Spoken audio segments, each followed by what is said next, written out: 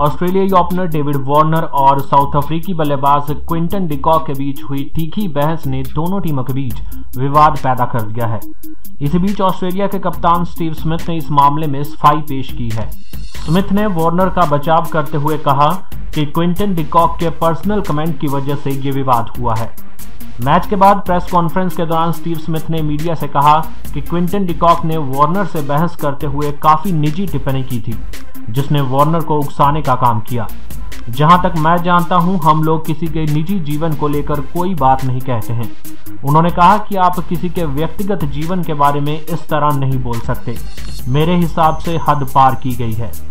उधर David Warner और Quinton de Kock के विवाद के बीच साउथ अफ्रीका के पूर्व कप्तान ग्रीव स्मिथ ने वार्नर को बेवकूफ़ कह दिया।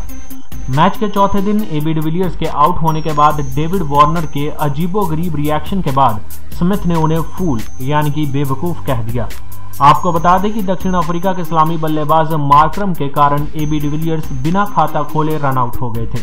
उनके आउट होने के बाद ही ऑस्ट्रेलिया के उप कप्तान वार्नर ने डिविलियर्स की ओर देखकर अजीबो गरीब रिएक्शन दिया, जिससे ग्रीम स्मिथ नाराज़ हैं।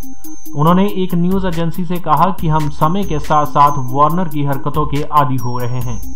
मुझे लगता है कि उन पर जितना ध्यान कम दिया जाए, उतना ही अच्छा होगा।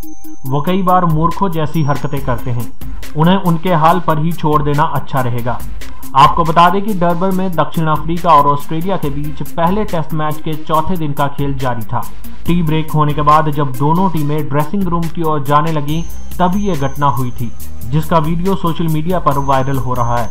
इस वीडियो में साफ़ देखा जा रहा है कि वार्नर ड्रेसिंग रूम के लिए सीढ़ियों से जाते हुए क्विंटन डिकॉक से भिड़ रहे हैं, जो लगातार क्विंटन डिकॉक को कुछ बोलकर उकसाने की कोशिश कर रहे हैं, जबकि बाकी ऑस्ट्रेलियाई खिलाड़ी उन्हें ज़बरदस्ती खींच रहे हैं। इस खबर में फ़िलहाल इतना ही। क्रिकेट के ऐसे और अपडेट्स के लिए हमारे चैनल को फ्री में सब्सक्राइब कीजिए।